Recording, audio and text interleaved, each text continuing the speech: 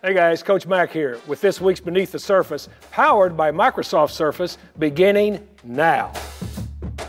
Today we're going to look at two defensive plays, one offensive play from the Titans game with the Dallas Cowboys. Tennessee Titans are in 11 personnel, which is three wides, one tight, one back, in a shotgun with an offset back. Dallas is in a four-man front. Motion by Hooper, the tight end, to a three-by-one set. Single receiver to the defensive left with McMath uh, with top of the numbers split. Dallas mugs the linebacker over the center. He has the running back man-to-man, and the safety to the single receiver side drops down as a middle of the field robber. McMath weaves the man-to-man corner and then hits the Jets to create separation. The post safety cannot get over fast enough. Excellent protection. Dallas runs a TE game to the offensive left, picked up very well. Nice cylinder for Josh Dobbs to step up and throw a perfect strike to McMath, who adjusts very well to the deep throw for a 39 yard explosive play.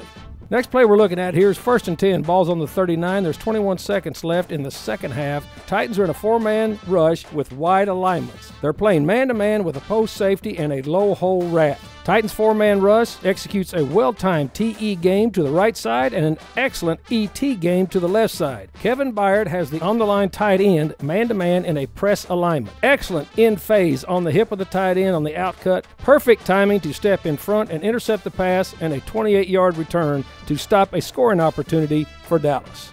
Here we're looking at second and seven. Ball's on the 29 yard line, 8.03 in the fourth quarter. Dallas is in 11 personnel. Now they're in trip speed alignment with all three wide receivers to the defensive right side in wide splits. Titans bogey and disguise a five man pressure with Monty Rice bringing pressure off the edge from the second level. Number 95, Walker, wraps from the left to the right side. Number 93, Teair Tart, powers past the outside shoulder of the center, and the cylinder collapses on the quarterback, with Tart and Walker sharing the sack for an eight yard loss.